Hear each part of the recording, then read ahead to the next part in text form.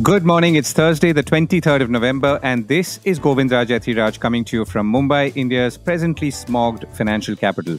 Our top stories and themes for a packed news day. The Reserve Bank governor brings up systemic risk again, says non bank finance companies must reduce their dependence on banks. Oil prices are weak but could sustain supply cuts, push them up again. Sam Altman returns to OpenAI in a five day drama script out of Netflix. Binance CEO pleads guilty, second biggest crypto star charged with fraud. Healthcare advertisements ranked highest in misrepresenting claims, study shows. And at 725,000, Indians are the third largest illegal immigrants in the United States.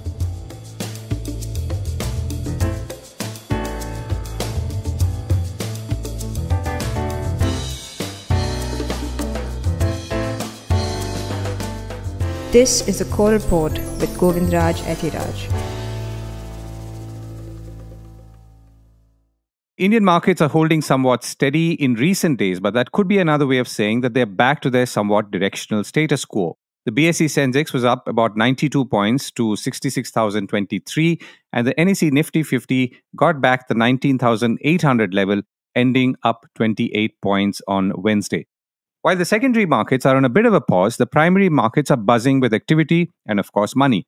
As market veterans have always told me, if there is a good IPO or initial public offer or the perception of one, then people will invest regardless of how strong or weak the secondary market is. And there seems to be, going by responses, much better pedigreed IPOs this week. IPOs worth about 7,000 crores are lined up in this market this week, including that of engineering firm Tata Technologies, which opened for subscription on Wednesday. The 3,000 crore IPO from Tata Technologies was already oversubscribed and got in more than the four other IPOs this week. And this was also the Tata Group's first public float in nearly two decades. All the other IPOs launched this week, including one from Flair Writing Industries and the Indian Renewable Energy Development Agency, have been subscribed, rather oversubscribed, and will close on Friday. Meanwhile, the IPO rush also helped the rupee rise on Wednesday, in addition also to strength in the Chinese yuan, Reuters reported. The rupee was at 83.31 against the US dollar, compared with 83.35 in the previous session, which was also its lowest closing level on record. Meanwhile, some $6 billion has come into the bond market from overseas investors, including in corporate debt, as investors top up before India's entry into several global bond indices. On the equity side, however, foreign portfolio investors have turned net sellers again, but that's only for the last few days. The month of November itself has seen some $2 billion flow in, in debt, that is, according to data compiled by Bloomberg. NBFCs must delink from banks. India's central bank governor Shaktikanta Das warned banks to undertake stress tests and said that all forms of exuberance should be avoided days after imposing curbs on some lending. Now, the word exuberance obviously suggests an inference, if not conclusion, that the financial system is lending either too freely or there are clear signs of stress amongst borrowers, and more of that in a moment. More specifically, the Reserve Bank last week clamped down on unsecured lending by financial institutions and shadow banks to curb financial stability risks. Now, this move also triggered a sell off in financial stocks in anticipation of an increase in borrowing costs for lenders and a dent on profitability. The recent macroprudential measures were aimed at ensuring sustainable credit growth, Das said on Wednesday, and the Reserve Bank excluded home and car loans from the restrictions since these sectors are contributing to economic growth. The risk weightages, uh, which the Reserve Bank had increased, were largely aimed at personal loans, or rather small personal loans. The governor also fired a fresh salvo by flagging the increasing linkages between banks and non bank finance companies, saying that banks must constantly evaluate their exposure to NBFCs and exposure of individual NBFCs to multiple banks. Given the increasing importance of NBFCs, the increasing interconnectivity between banks and non banks merits close attention. NBFCs are large net borrowers of funds with exposure from banks being the highest, said the governor Shaktikanta Das, adding that such concentrated linkages may create contagion risks. All of this is clearly worrying, not for what is being said, but what could be unsaid. So, to understand what the unsaid part could be, I reached out to Tamal Bandyopadhyay, consulting editor to Business Standard, veteran banking journalist, and author of several books related to banking. And I began by asking him why the Reserve Bank governor was shining the light on NBFCs. RBI is always concerned about NBFC in the sense, not in a negative sense, but it is well aware what's happening, which is why for quite some time now, NBFCs now are being treated almost on a par with banks. You know, RBI first introduced the scale-based regulation for the upper end NBFCs, depending on the size. So their capital requirement, the way they assess the quality of assets, the NPAs I'm talking about, even the LCR, the liquidity coverage ratio. The large NBFCs are on a par with banks, almost on a par. The scale-based regulation, that's what. So it's not happening overnight. And of course, the part of it and the larger picture is Reserve Bank of India talks about the interconnectivity within the financial sector because you know our banks typically pretty liberal to lend to the NBFCs and you can call it lazy banking but one of the reasons is many banks they are not able to fulfill the priority sector norms and when it comes to NBFCs and smaller loans and smaller housing loans, which can be classified as part of the priority sector, they are pretty liberal in giving loans. My understanding is off late, banks are more liberal than they should have been, both in terms of who to give loan as well as the risk pricing part. Which is why Reserve Bank of India also are talking about the asset liability mismatches and both banks and NBFCs more careful than what they are doing. So it's not overnight it has come. And why I am saying this, RBI probably knows more than what we know. If you recall, after presentation of the last policy and at the press conference, RBI Deputy Governor Swaminathan said, yes, we are taking a close look. We are aware what is happening, but there is no plan to get something into that so-called this macroprudential regulation like raising the risk weight to make cap to make them have more capital and make money more expensive. But after five weeks, Reserve Bank of India actually did what Deputy Governor said he would not do. So certainly that's why, Govind, I am saying that things are happening which you and me, we do not know. We have the till the June number, June quarter number. We don't have the September quarter, the specific number. I think that numbers probably show something. Then exposure to NBFC is also going up and up. So when you said June quarter number, which number is this that you are referring to? I'm talking about all the personal loans, the loans of uh, 10,000, 50,000, over leveraging of customers. These are all credit bureau data. If you go through them, you will find the rise and rise of that particular segment. 51% are coming from the relatively smaller places. And as of June, 51% of the borrowers have exposed to at least four such loans. So that over leveraging also is being encouraged. Right, that's interesting. So you're saying that borrowers or most borrowers have four kinds of loans in personal loans of some sort or the other. So it could be a house loan, a car loan, a personal loan, and maybe a gold loan. Up to 50,000, I'm talking about that bracket. Okay, so you're saying each person has four such small loans. Yes, 51% of the borrowers have exposure to at least four such loans. The June quarter number of one of the credit bureau data says that. Okay, so that's sort of linked to the NBFC part. But now, if if I were to take a slightly larger look, is this all connected? I mean, warning about exuberance, the NBFC linkages, and of course the earlier risk weightages. You already said that we don't know what they know, but is there a sort of larger systemic risk building up that the Reserve Bank is fearing? Well, I think globally, all the central banks are careful about what's happening. The irrational exuberance, what I would say, post COVID, it's a revenge lending, it's a revenge borrowing, both from the lender side as well as the borrower side. Now, I think Reserve Bank of India is not leaving anything to chance. So, it, Reserve Bank of India governor every time talks about our macroeconomic stability is pretty good, absolutely fine and all. So, but at the same time, I think they don't want to be caught unaware anecdotally, and I can't vouch for it, neither I cannot name. I understand that there are some kind of things are happening. If you remember, Yes Bank was giving loans to NBFCs, and whenever the loans were getting bad, they are transferring to certain NBFCs, and then again bringing it back to raise its assets so that in percentage term NPA can go up, good assets, etc. There was sort of again interconnectivity or whatever you call it between a bank and a few NBFCs that Yes Bank was playing that, and it was caught.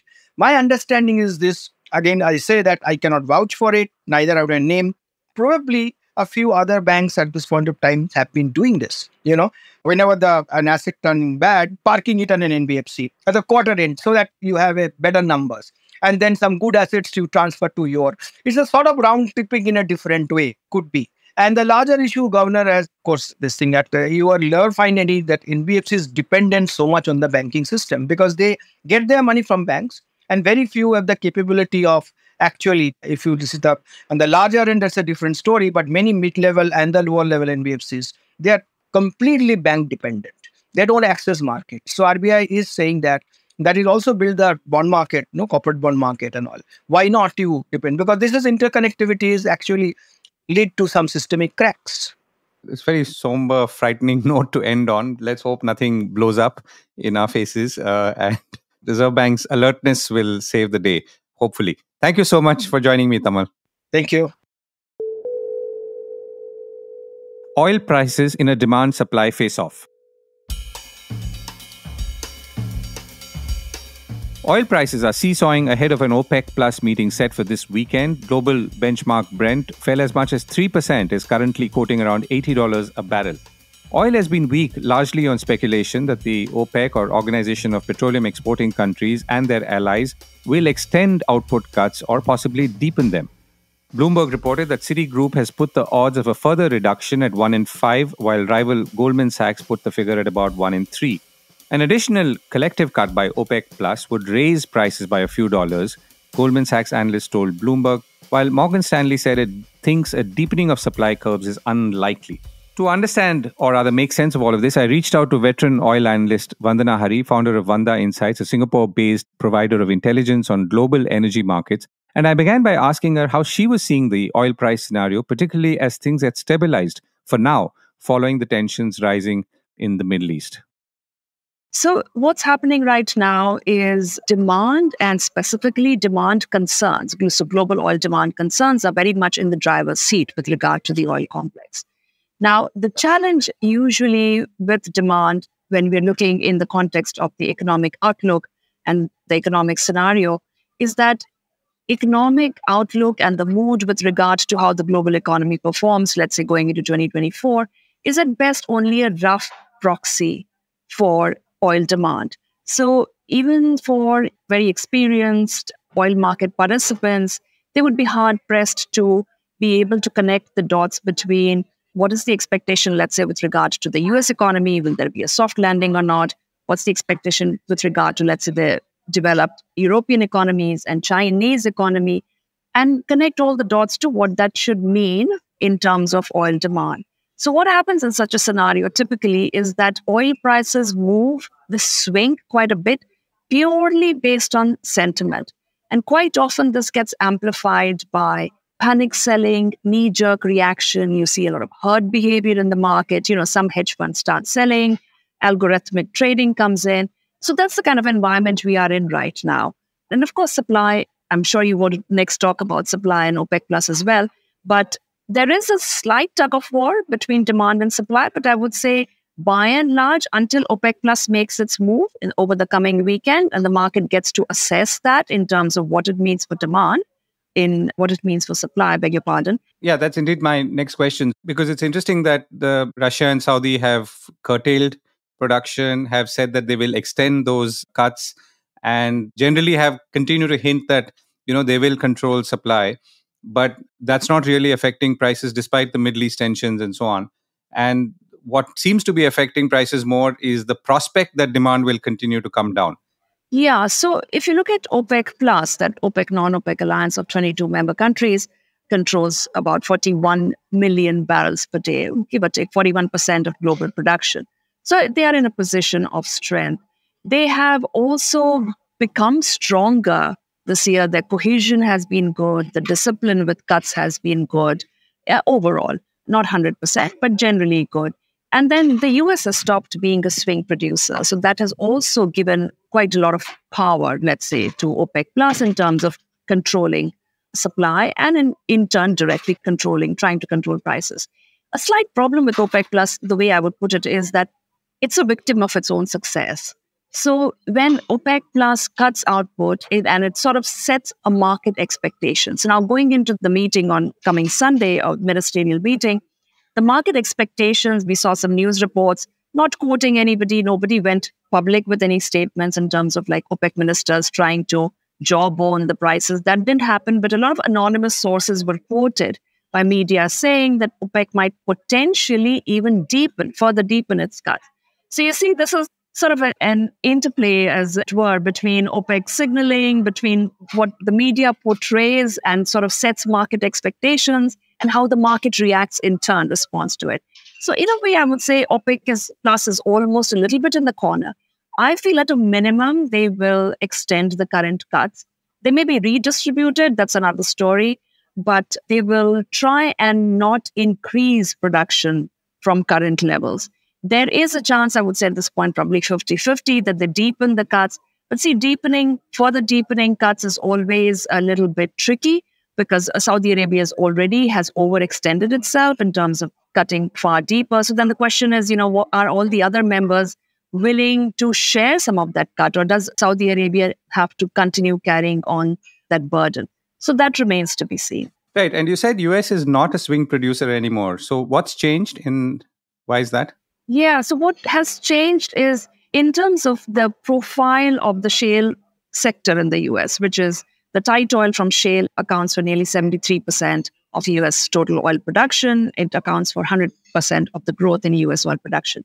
Now, by nature, the shale sector could have been a swing producers because they can bring on stream new production very quickly, you know, within a matter of six to eight weeks. And this is not something new. They have, however, changed their mantra quite a bit pretty much since around 2014 to 2016 when we saw a pressure on oil prices. The shale sector, in turn, came under a lot of pressure from their shareholders, from lenders, to uh, focus on maximizing profits, margins, rather than putting all, you know, all the money, all the profit into growth of production. So that mantra has stayed with the shale sector. So we see oil production in the US continuing to recover. I think this year is touching 13 million barrels per day, which is exceeding the historic high of 2019. But here onwards, it's going to be, I would say, a subdued growth. But more importantly, shale uh, players are not going to respond to high oil prices by quickly ramping up their output. So, because that said, it's just the nature, the dynamics of the shale sector has changed as a result of the pressure from their shareholders and lenders. So that's the reason the US is no longer a swing producer, as it were. So OPEC Plus effectively has no counterweight now, which is another reason I say that OPEC Plus is pretty much in probably the best control of markets that one can think of in recent years. So we are now middle of November, tending towards the end, and uh, December is when all the heating bills rise and so on. So anything from past trends which looks like might influence energy costs going ahead or at least in, towards the end of the year? Yes. So, winter season in the northern hemisphere is typically high demand season. You're absolutely right. Heating oil demand goes up. So, in places like uh, Europe and the US. But as OPEC Plus meets, we have to keep in mind that whatever they're going to do until December has pretty much already it's been sealed for 2024 but perhaps more immediately they're going to look at what should we do in first quarter. Now as the winter season starts to taper off the bulk of the first quarter is actually a slow demand season. This is something that saudi arabia has pointed out repeatedly. Saudi arabia typically is de facto leader of the opec plus now is very very cautious when it comes to supply in the first quarter so i think that is probably going to be weighing on their minds as well that better be cautious restrain Iranian supply a little bit more, err on the side of perhaps cutting more rather than less.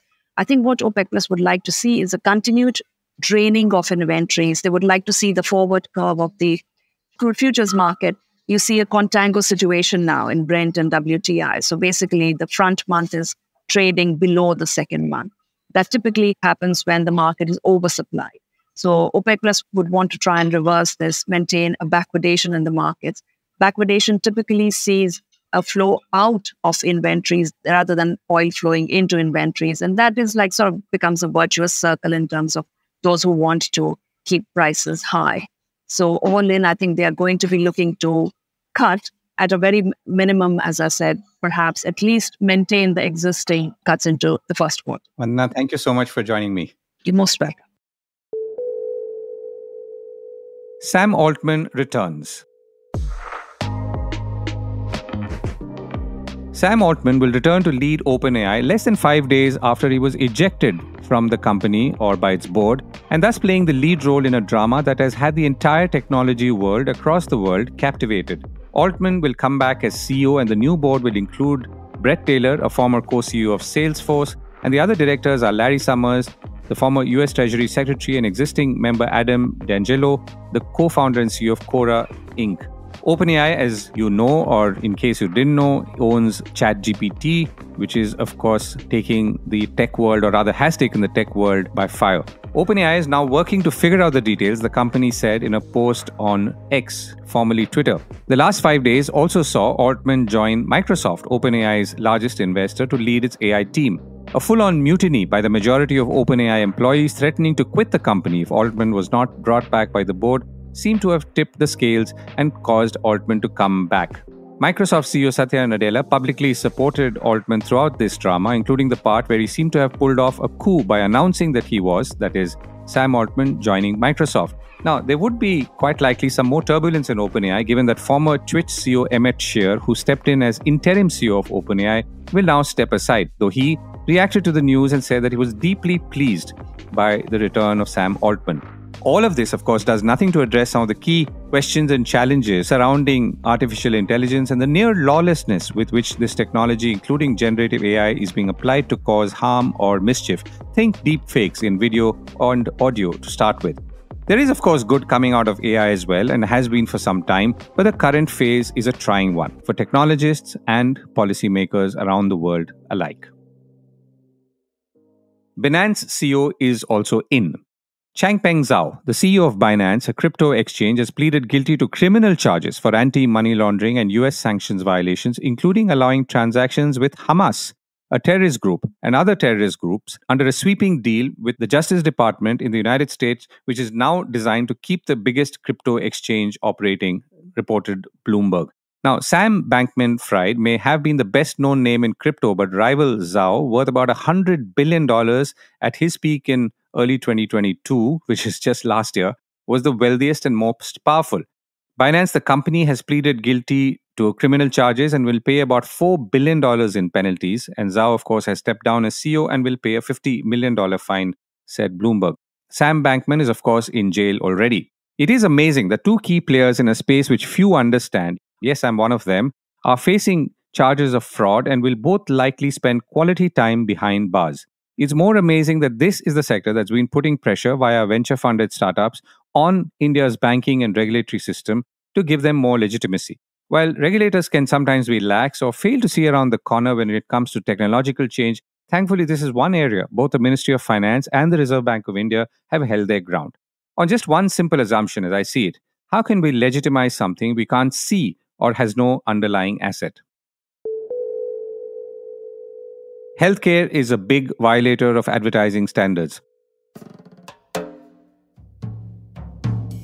An Advertising Standards Council of India half yearly report has said that healthcare has emerged as the most violative sector, constituting 21% of all ads processed by them. The surge is attributed to a high volume of medicine and drug advertisements on digital platforms, which in itself represented some 80% of all violative advertisements. ASCI said that it had observed a significant increase in ads directly relating to or violating the Drugs and Magic Remedies Act of 1954, leading to the issuance of intimations to advertisers advising either withdrawal or a modification of the advertisement. ASCI also referred 565 advertisements to the Ministry of Ayush or alternative medicine, that's my term, in just six months, compared to about 464 ads referred in the entire last financial year. Healthcare was followed by classical education and personal care at 18% each. The fact that health and education constitute such a high number in terms of misrepresentation is very worrying. Remember that these are areas where consumers are likely, or rather most likely, to be gullible as well. Indian illegals in the United States. There are about 725,000 Indian illegal immigrants in the United States, the third largest population of unauthorized immigrants after Mexico and El Salvador, according to a new Pew Research Center estimate. The number is obviously quite surprising, or maybe not, since there have been increasing reports of Indians joining immigrants from South America trying to cross America's southern borders through extreme hardship and pain. As of 2021, America's 10.5 million unauthorized immigrants represented about 3% of the total population, but 22% of the foreign born population, Pew Research said. On that note, have a great day ahead and see you tomorrow.